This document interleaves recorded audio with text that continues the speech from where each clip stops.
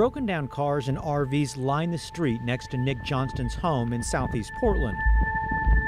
I would say that it definitely takes a toll on us because we don't know who's going to be outside of our house. I mean, He's like, compassionate, yes, Yeah, definitely. but after months of headaches, including trash, drugs, and all kinds of late night chaos, Nick says he and others have had enough.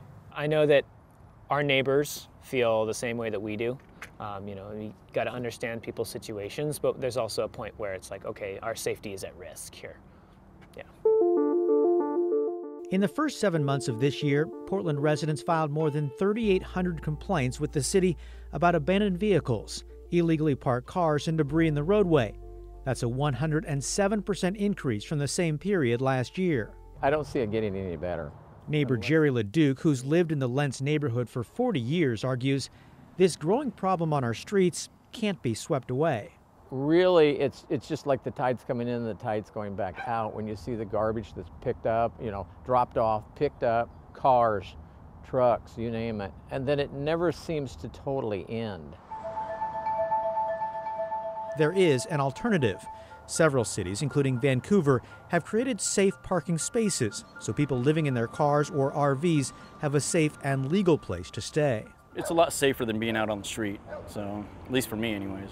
Michael Helms still has chalk marks in the tires of his RV after ringing up hundreds of dollars in parking tickets and being forced to move from one spot to the next. It's hard to try to transition from trying to find a job and then just leaving your stuff out there because potentially it's either going to get towed or it's going to get ripped off or it's going to get broken into. Vancouver's safe parking zone, set up at an old C-Tran bus transit center, holds about 50 cars, RVs, and trailers. There are portable toilets, hand washing stations, and garbage cleanup. We want to keep it clean and keep it nice and everybody be happy about it, you know. Residents must follow strict rules like no drugs or alcohol. The goal is to provide stability so people like Dale Moon can eventually find permanent housing. Well, last past year I've been going up from uh, sleeping in a pickup in the cab to a camper and then to a camper to a motorhome. In the short term, this safe parking area gives people a secure place to store their stuff. Yeah, mine's, mine's the one with the pumpkin, of course. Instead of spending Right all day looking for a place to park, they can focus on finding work or the support they need. yeah, yeah. It also helps alleviate some of the stress between neighbors and strangers parked on their street. You uh, can't sleep very well because uh, you never know when, at any time, someone can knock on your door and say, hey, you can't be here. You got to leave right now.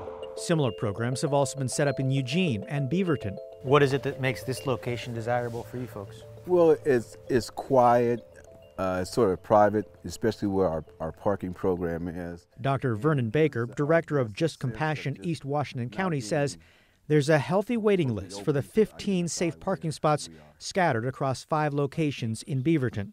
We're seeing more and more people who are who are gainfully employed, uh, but they just don't have enough to move into a house or to an apartment, so therefore they're living in their vehicles. Baker fears the end of Oregon's eviction moratorium will force more people out of their homes and onto the street. I think we're going to see a whole lot more people living in their vehicles. Portland City Commissioner Dan Ryan had proposed using the vast Portland Expo Center parking lot as a safe parking space for cars and RVs, but Metro, which owns the lot, said no. Instead, the regional government offered use of a grassy ditch area that would take $1.5 million to redevelop.